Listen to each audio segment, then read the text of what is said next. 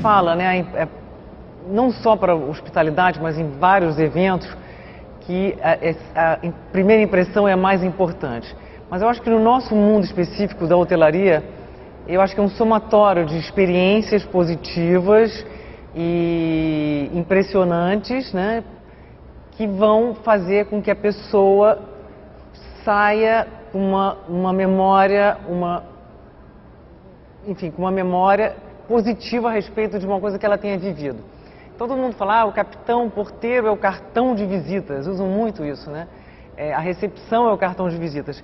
Eu acho que, que a gente, em hospitalidade, a gente trabalha em equipe.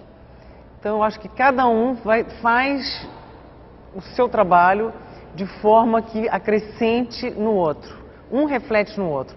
Então, muitas vezes a pessoa chega para se hospedar, feliz da vida, está tudo correndo muito bem, mas no meio do percurso, no meio da estadia, algo sai dos eixos. E, e ela já não fica, ela esquece a, a boa experiência que ela teve anteriormente. A gente tem essa tendência, né?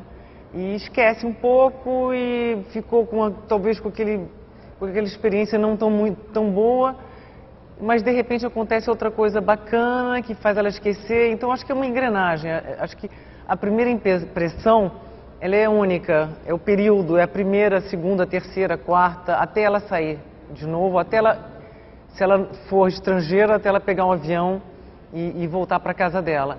É, então eu acho que não é só a primeira não, acho que é realmente, como eu falei, um somatório de boas experiências.